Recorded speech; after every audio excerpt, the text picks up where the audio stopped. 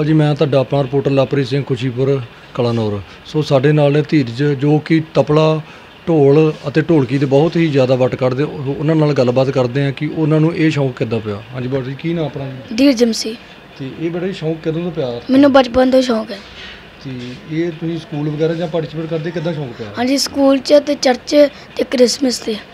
ਜਾਣੀ ਕਿ ਤੁਸੀਂ ਤੇ ਨਾਮ ਵਗੈਰਾ ਕਦੀ ਮਿਲੇਗਾ ਤੋਂ ਹਾਂਜੀ। ਕਿੱਥੋਂ ਕਿੱਥੋਂ ਨਾਮ ਮਿਲੇ ਹਾਂਜੀ ਕ੍ਰਿਸਮਸ ਤੋਂ ਤੇ ਐਤਵਾਰ ਚਰਚ ਵੀ ਤੇ ਉਹ ਵੀ ਦੇ ਦਿੰਦੇ ਨੇ। ਡਿਪਟੀ ਸੀਐਮ ਸੁਖਜਿੰਦਰ ਸਿੰਘ ਰੰਧਾਵਾ ਵੱਲੋਂ ਵੀ ਮੈਨੂੰ ਪੈਸੇ ਦਿੱਤੇ ਗਏ ਸੀ। ਜਾਣੀ ਕਿ ਤੁਹਾਨੂੰ ਉਹਨਾਂ ਵੱਲੋਂ ਨਾਮ ਵਗੈਰਾ ਦਿੱਤੇ ਗਏ ਨੇ? ਹਾਂਜੀ। ਠੀਕ ਹੈ ਜਾਣੀ ਕਿ ਜੋ ਡਿਸਟ੍ਰਿਕਟ ਲੈਵਲ ਦੇ ਐਮਐਲਏ ਸਾਹਿਬ ਉਹਨਾਂ ਵੱਲੋਂ ਤੁਹਾਨੂੰ ਨਾਮ ਵਗੈਰਾ ਮਿਲਦੇ ਨੇ? ਹਾਂਜੀ।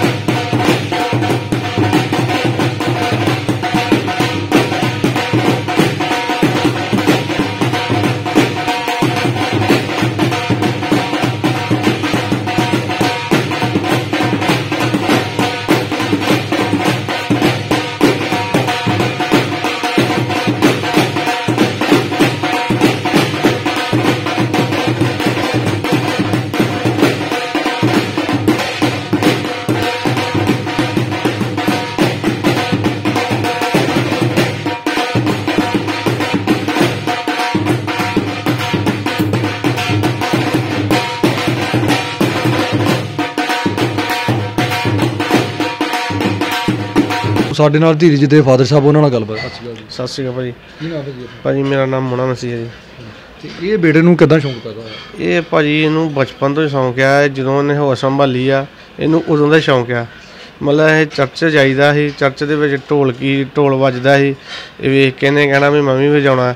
ਚਲੋ ਇਹ ਚਰਚ ਦੇ ਵਿੱਚ ਗਾਂ ਜਦੋਂ ਸਮਾਪਤੀ ਹੁੰਦੀ ਸੀ ਇਹਨੂੰ ਵਜਾਉਣ ਦੇਣਾ ਇਹਨੇ ਫੜ ਕੇ ਵਜਾਉਂਦਾ ਪੈਣਾ।